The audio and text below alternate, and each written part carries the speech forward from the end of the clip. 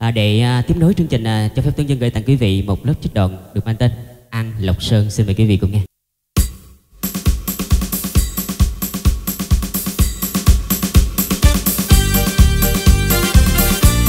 Thái Chương Thái Chương ơi ta từ lĩnh đá mang lý chi về cho nàng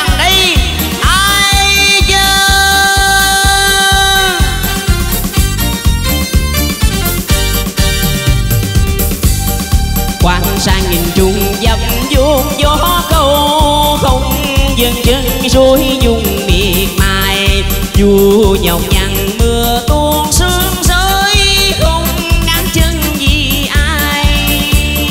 Đường vì trường an quốc xa bi ngàn che lối, lòng nồng nào dân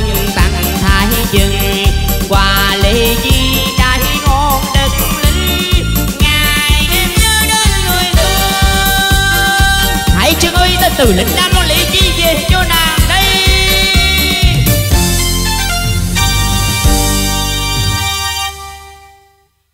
Tay chân ơi, vừa biết được thay chân ơi, thích quả lệ chi đất lệ. Thần xin đem chúc tài kỹ mã rời khỏi trường an thương nhớ trên lưng ngựa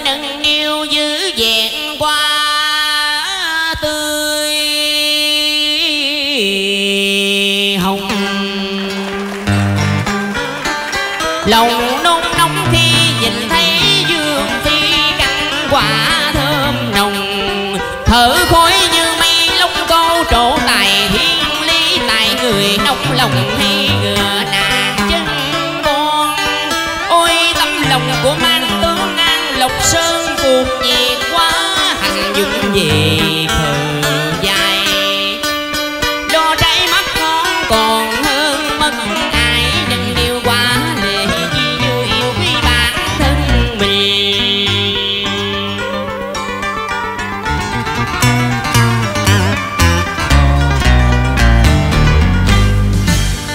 quả lễ chi trái ngọt thơm linh na gió ngờ chẳng trùng chân bước đi mời dân nương nương với bao ước nguyện chân thành lòng đã không mà nối dốc nhằn gian có ai ai à ai ai à nói sao để chơi thôi đời luôn luôn đối không ai số phận.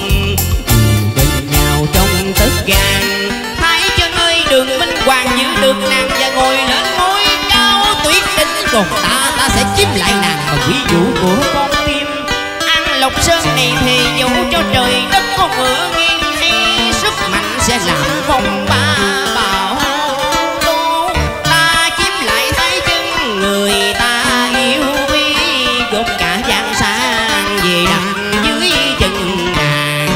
đó là tấm lòng của mang tướng an lộc sơn. Yêu dương thái chân không một ai có quyền thay đổi.